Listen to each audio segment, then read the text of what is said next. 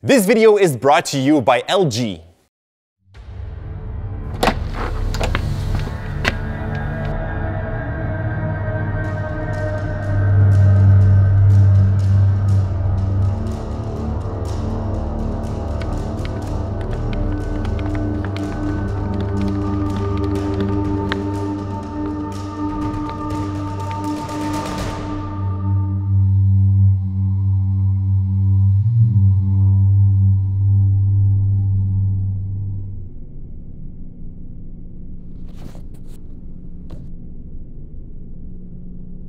Hey Jordy, what's that?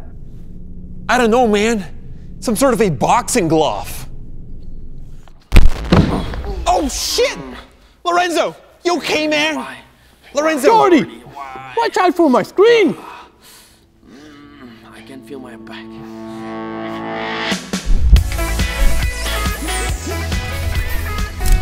Welcome to Copycat Friday, guys, the weekly series where we recreate a typical effect from a film or music video. Now, we've been looking at the new Avenger film's Infinity War and tried to find something in that film that was easy to recreate. So we kind of made our own version of Thanos giving a punch.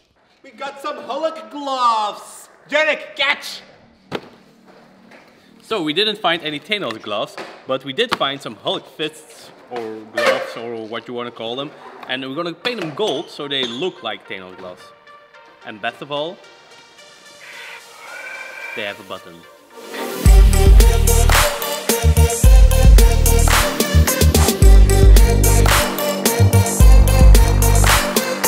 So the Thanos glove is not complete without the Infinity Stones. So what Janik and me are gonna do is scavenge the world and find those Infinity Stones. Let's go. We found them, but they are liquid. Really liquid. I hope they will dry. Now let's mount them to the glove.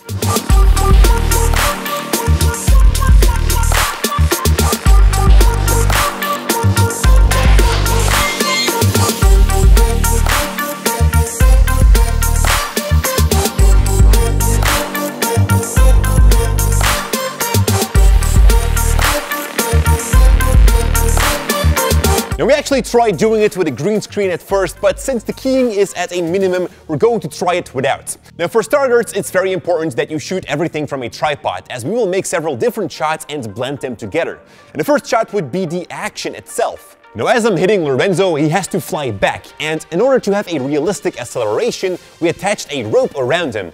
Now just as I would punch him, Janik will pull on the rope and Lorenzo will fall on a mattress behind him. A little disclaimer though, be careful doing this. Do not pull the rope too hard as a joke, be concentrated as you do so. So that was the first shot. Now keep your camera rolling and remove everything from the frame to make an empty shot. Now once you got that, your final shot will be where the victim is going to run backwards and jump into the wall behind him. I'd like to make a big shout out guys to LG who are supporting us today. They have sent us this brand new ultra wide monitor which is a very cool experience to edit videos on. It's a curved IPS display with over 99% coverage of the sRGB color space and what Janik is now doing right here behind me is calibrating his screen. That is very important if you are going to do color grading tasks on it. Now with the LG Ultrawide monitor, we have all the custom controls to go perfectly through a calibration process. And to find out more about this brand new monitor, make sure to click the first link in the description below. Now inside Adobe Premiere Pro, you want to place your empty shot on the bottom. On video track number 3 goes the action shot. And we're going to start by heading over to the opacity property, from which I'll click on the pen tool. Now draw a mask around the two subjects and this can be pretty rough, except for where the rope is attached. Then go back to your mask and enable animation for mask path. You now want to adjust your mask so that it follows the subjects. Next, add a cut on the moment Lorenzo is at its highest point in the air. On the clip after that cut, you want to change your mask to only cover yourself, because at this point, we want to have both of us in a separate layer. And that's why I'm duplicating that clip to the track above. Right click on that layer and choose Frame Holds. And this will turn that into a still clip. Now from the opacity property, I'm going to delete the mask and create a new one. You want to draw a mask around your subject now and this time it do has to be precise. We can now move Lorenzo around in the shot to any position, and the best way to animate him to the other side of the shot is with the transform effect. But we cannot apply that on a shot with a mask, and that is why I'm right-clicking on that clip to nest it, and then on that nested sequence I can add the transform effect. Animate the position so that he flies to the wall on the left. And when you're done, disable the composition shutter angle and set one of your own to get a motion blur in there. At this point, we're going to transition to the clip where he actually jumps against that wall. So I'm adding that clip next to it and with the mask tool I draw around him roughly. And now you need to find a nice point between the flying Lorenzo and where he actually bounces into that wall so that it becomes a seamless transition. Janik, catch!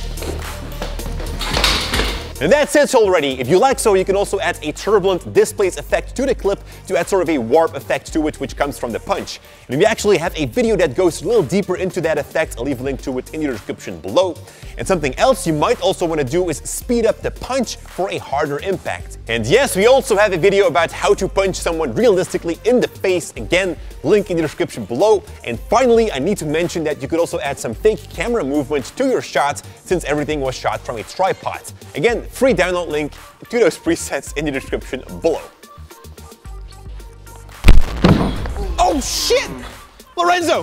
Thank you all so much for watching. Thank you LG for the support again. And like always, stay creative. I want to make a big shout out to LG Ultra Wide who are sponsoring us today. They have sent us this brand new. Lorenzo, I'm recording here. Sorry, Jordy, I'm a bad intern. That's right, Lorenzo. You're okay.